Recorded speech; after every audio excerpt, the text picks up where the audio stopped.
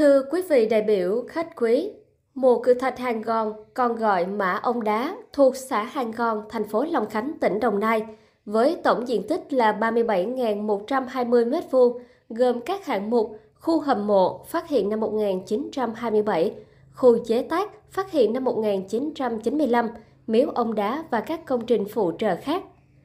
Di tích thuộc loại hình domain mộ đá có kiến trúc độc đáo quý hiếm ở Việt Nam, Đông Nam Á và thế giới, có niên đại cách đây khoảng 2.000 đến 2.500 năm. Năm 1982, mộ cự thạch Hàng Gòn được Bộ Văn hóa Thông tin xếp hạng di tích quốc gia. Năm 2015, được Thủ tướng Chính phủ xếp hạng di tích quốc gia đặc biệt. Tồn tại trong một khoảng thời gian dài với những tác động của thiên nhiên, Song, di tích mộ cự thạch Hàng Gòn hiện nay so với phát hiện ban đầu vào năm 1927 vẫn còn giữ nguyên được cấu trúc hiện trạng hầm mộ. Hầm mộ được cấu tạo bởi 6 tấm đá hoa cương lớn, theo kiểu hình hộp chữ nhật. Các tấm đá được mài nhẵn ở phía bên ngoài, bên trong đẽo gọt sơ sài. 4 tấm đứng làm vách, hai tấm ngang làm mặt đáy và nắp đậy. Kích thước của hầm mộ chiều dài 4,2 m, chiều rộng 2,7 m và chiều cao 1,6 m.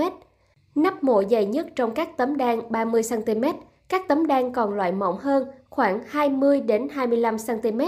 Riêng nắp đậy bao phủ phía trên các tấm vách đứng, đặc biệt ở hai chiều ngang, có phần nhô ra theo dạng hình nắm tay với chiều dài 0,1 m, rộng 0,68 m.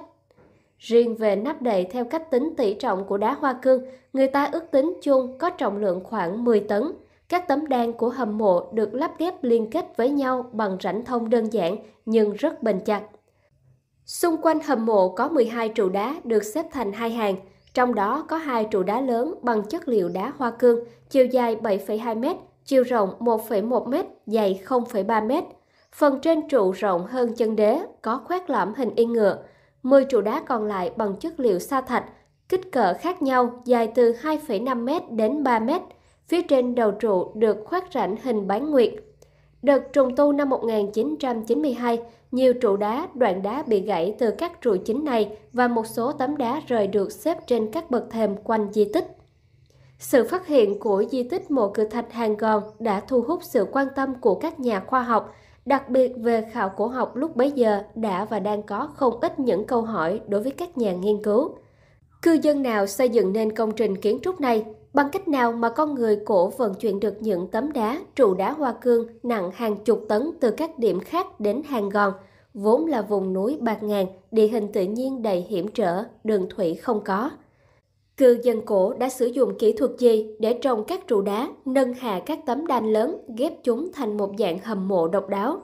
Những người có vị trí như thế nào trong cộng đồng khi chết được cư dân cổ chọn mai táng trong hầm mộ kiên cổ này? Chủ nhân của di tích mộ cự thạch Hàng Gòn có mối quan hệ như thế nào với chủ nhân của bộ vũ khí, qua và tượng thú con trút bằng đồng phát hiện ở đồi 57 Long Giao?